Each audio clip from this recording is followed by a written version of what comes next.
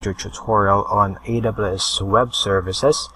Uh, the last time we were able to learn how to host a static website using AWS S3. Now we did that by dragging our local build files on our respective S3 bucket.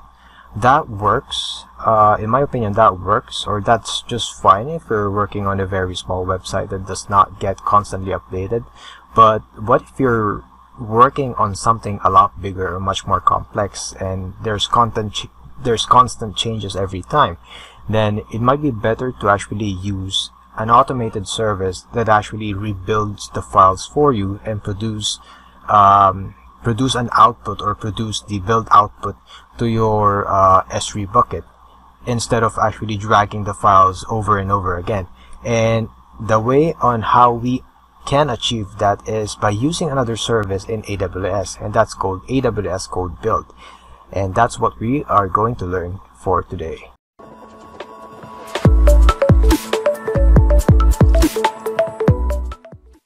Alright, before we can actually make use of AWS Code Build, I actually forgot to mention one thing and that is that you need to host um, whatever project, whatever site that you're working on, you need to host that on a repository hosting service. Um, mine is at GitHub. It could be either Bitbucket or GitLab or what have you. As long as it's supported by AWS, then you're good to go. So, in order for us to start, we need to create a new pipeline first. Then, under the pipeline name, try to keep, you know, the naming convention here uh, as relevant as possible to the project that you're working on. So mine is a project, uh, a website project about dogs. So I'm gonna name it Pipeline Doggos, and I'm gonna create a new service role because I don't have um, an existing one. And under Advanced Setting, I'm going to change the artifact store to custom location because I already have an S3 bucket created uh, so that whenever the project is built all the files will be put here in the, in this artifact or in this S3 bucket so to speak. So I'm gonna hit next uh, right after this. Source provider like what I mentioned a while ago mine is supported so I'm gonna choose github. And I'm going to hit the connect to github button. Once that is connected it will prompt you the uh, will prompt you a list of repository that you can choose uh, from.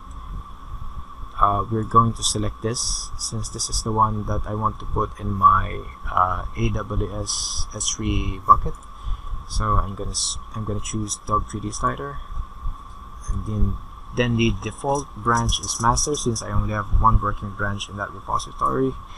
And I'm gonna leave I'm gonna choose git webhooks recommended uh, what basically this is is whenever you try to uh, push a commit or try to commit some changes in your repository uh, enabling git webhook uh, or git webhook will tell code build to rebuild the files again since there are new changes in the code base. So that's what it is. I'm gonna hit next right after and then add a build stage. This is where code build comes into play so we're gonna choose code build and the region uh, this could be uh, any region what uh, you could choose whatever region. I'm I'm gonna choose Asia Pacific Singapore. Since this server is much closer to where I live at. So under, under project name since we don't have an existing one I'm gonna create a new one. I'm gonna create a new project. A new pop-up window will show up. And then again in terms of naming try to keep it as relevant as possible. This is going to be about uh, a website about, about dogs so I'm going to create a code build or I'm going to name this code build project doggos then let's just really try to maximize this so you guys can see. So the description you could, you could leave it as blank. This is optional.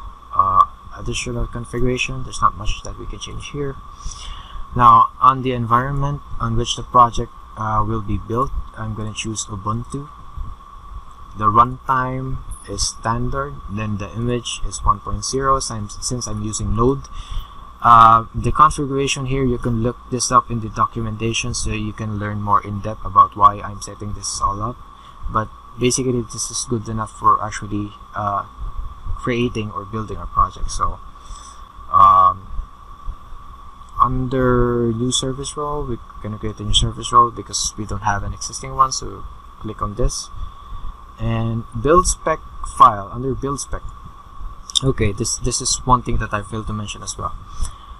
On the root uh, on the root directory of your project you should create a build spec YAML file. So basically what a build spec YAML file is it's a set of instruction that code build will follow. So first it will install the dependencies. Second on the build phase it will try to build the project using the npm run build command.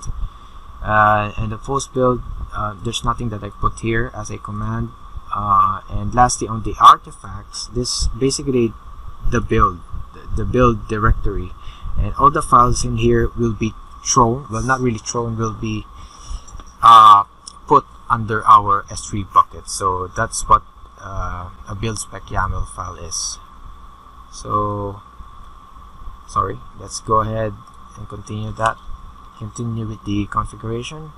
So the rest of the the rest of the config here under logs if you want to see how the project is uh, getting built in it should enable this CloudWatch logs and continue the code pipeline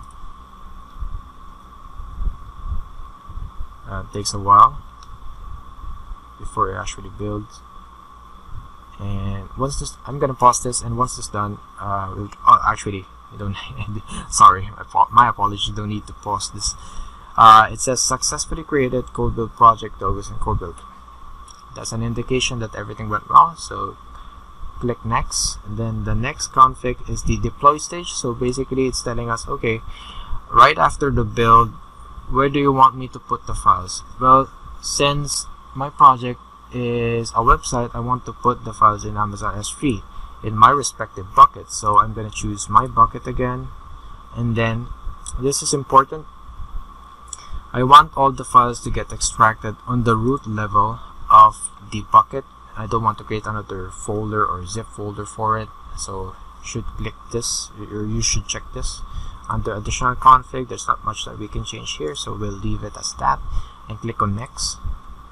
And under the review tab you can actually see all the settings that you have set up. I'm I'm good with this. And we can now create the pipeline. So once this is done or once uh, code build has uh, successfully registered this uh, in its setting it will try yeah there you go success. Congratulations the pipeline is now created. So this will take a little while uh, before it can actually produce the local builds into your S3 bucket. But uh, uh, I'll pause the video first and we'll get back to this in a while. Alright it looks like the code pipeline um, deployment is done. Now if we actually go ahead and try to visit our S3 bucket. You can see that the files are already uh, were already uploaded in there. So let's go to our S3 and our respective bucket. Wait for it to load. And you can actually see the uh, build files were already thrown in here. So if we go ahead and see or try to take a look at the hosting uh, link of our website. You can see that the whole project itself has already been uploaded. And if we uh, and so that's how code build works. And uh, when you try to initiate a pipeline and you try to specify the settings in your code build uh, with uh, regards to your project. So that's how it actually works. So now if we were to uh, let's say let's say for example if we were to try and change this text here about doggies into something else then all we need to do is to actually push our files or push our commit or push a new commit to our repository and then code build code build itself will try to rerun with the new changes. And our S3 bucket will get updated as well. So let's go ahead and try and do that. So in our local uh, in our local file let's try to find the component on which the text is located. So it's about doggies. I'm going to change this to about doggos uh, so I think it's under site nav. Let's see here. Yes uh, so I'm gonna change this to about doggos now, this is the localhost uh, copy of my website. So if we go ahead to our localhost copy you can see that it's already been updated but not on our S3 the, changes has, has not been reflected on S3 yet uh, obviously. So what we're gonna do here is I'm gonna head over to my uh, get command repository. So here I'm gonna say git status and it's it sees that I have made some modification to the file. So I'm gonna hit git add. Um, if you guys are not quite familiar with git yet I suggest you guys take a look. There's some tutorials out there. Uh, it's quite easy once you get used to it. So git status uh, get that sorry get that git status then we can commit this change. Uh, new file update. So now we can push the changes. Uh, first let's go to our repository and see if the changes has been uh, already committed. So in our commits you can see here that I have a new one and it's the new file update that I've made. So here on S3 we can actually take a look at the code pipeline again and see whether there's a new job or there's a new automation job that is running. So here we can see that there's another one now. As you can see here in the last executed. Uh, I'm gonna click this. So it's trying to rebuild the project again. So once this is done uh, we'll get back to this but for the meantime I'll pause the video Alright, it seems like our second pipeline job is done running and most likely the files in our S3 bucket is updated as well. So if we actually go ahead and try to take a look at our uh, static website that is hosted in our bucket, you can actually see that the change has been reflected. So that's how powerful code build is. You don't have to, unlike what we did previously wherein we drag files to the S3 bucket and then um, everything will get updated. In here everything is is done through an automation job which is uh, code builds job. So uh, if you're working on something really large or complex this might come in handy because dragging your static file or dragging your build files over and over again is not very ideal. And it's not something that should be used in, in in a team environment setup so to speak if ever you're working on a website with multiple people. So yeah um, so that concludes our tutorial. I hope I'm hoping that you find this really uh, useful. Uh, if ever you like this video don't forget to share and subscribe and I'll see you guys in the next one